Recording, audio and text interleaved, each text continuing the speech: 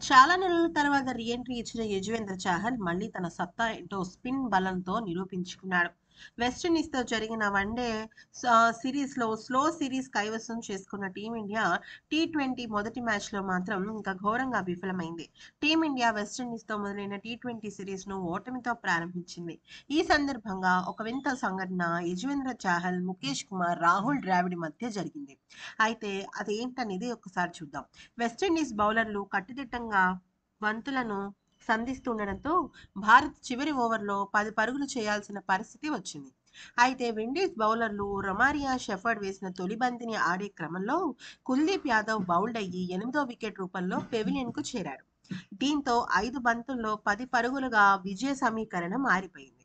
Kuldeep out కావడంతో అతని స్థానంలో తొలుత యజ్వేంద్ర చాహల్ మైదానంలోకి అడుగుపెట్టాడు. అయితే కెప్టెన్ హార్దిక్ పాండ్యా ప్రధాన కోచ్ రాహుల్ ద్రావిడ్ మాత్రం చాహల్కు బదులు ముఖేష్ కుమార్ను పంపించాలని అనుకున్నారు.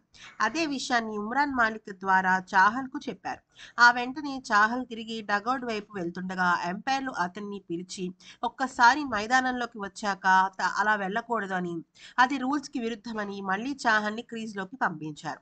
మరొక ఎండ్లో హర్షదీప్ కూడా అవుట్ కావడంతో ముఖేష్ బ్యాటింగ్కు దిగాడు. చివరికి ముఖేష్ చాహల్ ఒక్కో పరుగు చేసి నాట్అవుట్గా నిలిచారు. బ్యాటింగ్ ఆర్డర్ విషయంలో కన్ఫ్యూజ్ కారణంగా ఇలా జరిగిందని ఇది కూడా మ్యాచ్ ఓడిపోవడానికి బహుశా కారణమని అంటున్నారు.